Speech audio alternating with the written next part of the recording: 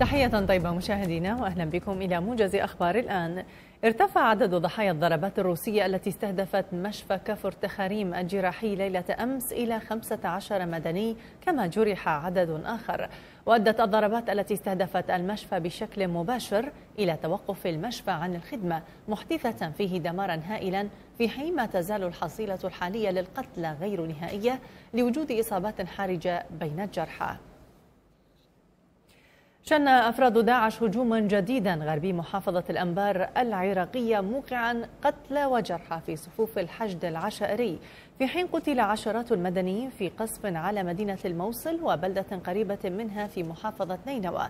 وقالت مصادر عسكرية في قيادة عمليات الجزيرة والبادية في محافظة الأنبار إن الهجوم تخللته تفجيرات انتحارية بأحزمة ناسفة استهدفت قوة من فوج ما يسمى الصقور الصحراء التابع للحشد العشائري.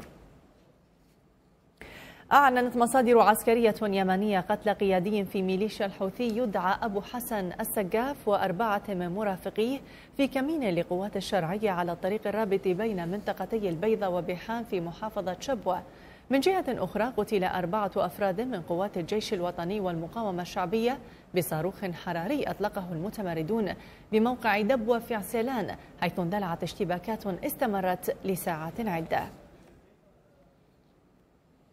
حذر قائد القوات الأمريكية في كوريا الجنوبية الجنرال فينسنت بروكس كوريا الشمالية من أن قواته على أتم الاستعداد لمواجهة استفزازاتها. إذ من المقرر أن تجري كوريا الشمالية تجربة نووية أو تطلق صاروخا باليستيا قبل أو بعد الذكرى السنوية الخامسة والثمانين لتأسيس الجيش الكوري الشمالي التي توافق اليوم. ما يثير المخاوف من تصعيد حدة التوترات في شبه الجزيرة الكورية.